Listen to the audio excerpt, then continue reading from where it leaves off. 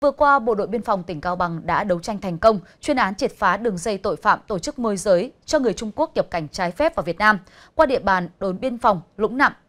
Đây là quyết tâm rất lớn của lực lượng biên phòng để ngăn ngừa dịch bệnh xâm nhập từ nước ngoài.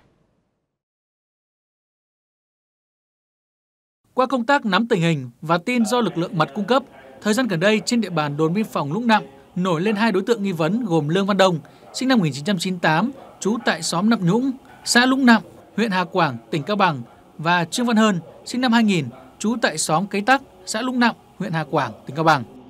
Cả hai đối tượng đều có quan hệ với người Trung Quốc.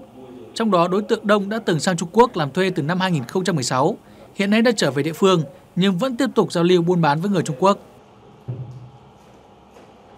Đơn vị đã triển khai đồng bộ các biện pháp công tác nghiệp vụ, sinh hoạt mạng lưới bật, tăng cường lực lượng trinh sát, bám nắm tình địa bàn, rà soát, sàng lọc các đối tượng nghi vấn có liên quan đến tổ chức đường dây đưa đón người nước ngoài nhập cảnh trái phép.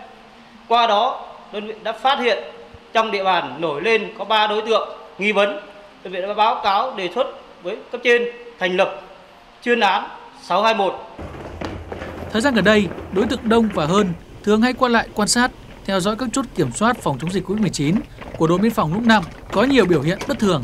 Qua điều tra, xác minh, thời gian tới, Đông sẽ tổ chức đón một nhóm người Trung Quốc nhập cảnh trái phép vào Việt Nam. Ban chuyên án đã chỉ đạo lực lượng đánh án tiếp tục nắm tình hình, theo dõi sát mọi hoạt động của hai đối tượng.